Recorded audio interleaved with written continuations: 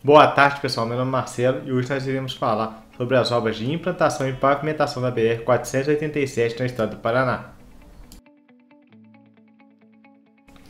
A BR-487 no Paraná, obras de pavimentação da estrada boiadeira, seguem em plena execução. Trabalhos ocorrem no segmento localizado entre o distrito de Santa Helena e Serra dos Dourados as obras de implantação e pavimentação da BR-487 Paraná, realizadas pelo Departamento Nacional de Infraestrutura e Transporte DENIT, no trecho localizado entre a divisa do Paraná com o Mato Grosso do Sul, no município de Icaraí, até o município paraense de Umuarama.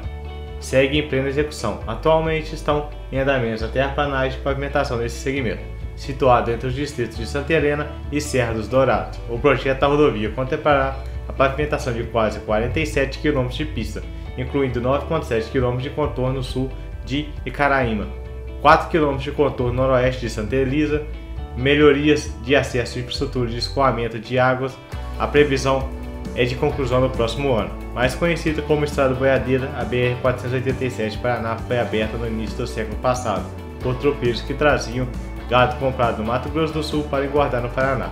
A rodovia faz ligação entre Mato Grosso do Sul com os polos de serviços agroindustriais do Paraná, até o porto de Paranaguá, contribuindo para a redução de custos de transporte, além de permitir o escoamento da produção agropecuária. A implementação da rodovia reduzirá em 80 km o deslocamento entre a cidade de Naviraí, Mato Grosso do Sul e Paranaguá, no Paraná.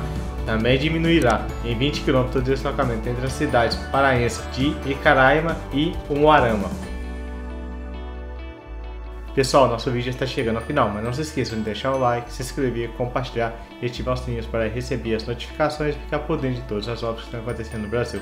E até o próximo vídeo.